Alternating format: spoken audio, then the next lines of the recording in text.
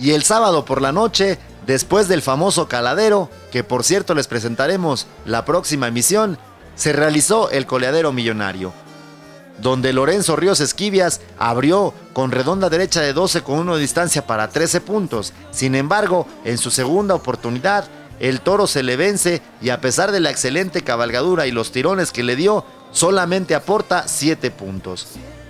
Y en la tercera de sus oportunidades, se queda con media derecha de 10, 1 de distancia para 11, totalizando 31 y conformándose con la sexta posición, empatado con varios excelentes charros. Pero nos damos con quien obtuvo la quinta casilla, nada menos que Ricardo Naveja Marín, quien abre con centón de 6 y 1 de distancia para 7 puntos, ya que el toro no peleó, a diferencia de los que le tocaron en la segunda y tercera de sus oportunidades. Observen cómo logra redonda derecha de 12 con este toro que estaba al tamaño de su cabalgadura para llevarse 13 puntos y con ello ya llevar 20 unidades. En la tercera, esperando perfectamente esta cabalgadura con el fierro de Rafael Osornio, para obtener otros 13 puntos y con ello totalizar 33 y quedar en la quinta casilla Ricardo Naveja de Rancho Las Cuatas.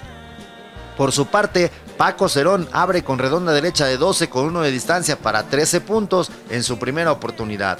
La segunda, desafortunadamente, el toro se le sentó y también se queda con 6 de base y 1 de distancia para 7 puntos. Llegaba a 20 y en la tercera de sus oportunidades aprieta la mano, sabía que tenía que echar muy buena redonda, lo cual logra perfectamente y obtiene un catorzón para totalizar 34 en sus tres oportunidades quedando empatado con Gustavo Rivera, quien abre con redonda derecha de 12. Observen al filo de los 60 metros. Sin embargo, el artista de artistas acomodó perfectamente al toro y se lleva 12 unidades en la primera de sus oportunidades, mientras que en la segunda repite la dosis. No apresura sus movimientos, pero asegura perfectamente redonda derecha de 12 al filo de los 50 metros y en la tercera de sus oportunidades no alcanza a redondear al toro, se queda con media derecha de 10 para totalizar 34 puntos.